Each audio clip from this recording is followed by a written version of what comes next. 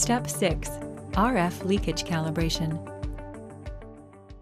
Select Leakage Calibration from the Calibrate menu. Connect the ESU dispersive safety lead to the REM port on the ForceTriad, and then to the variable high port on the QA-ES III.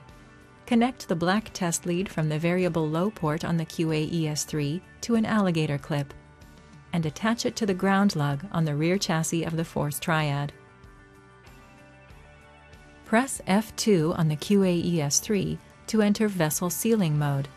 Select 0 ohm load. Press F4 for start continuous. Select the Next button on the ForceTriad to continue. Follow the on-screen instructions to perform leakage calibration.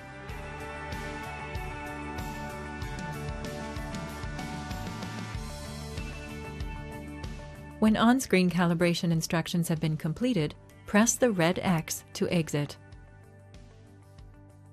Press F3 on the QA-ES III to stop the test. Remove all test leads.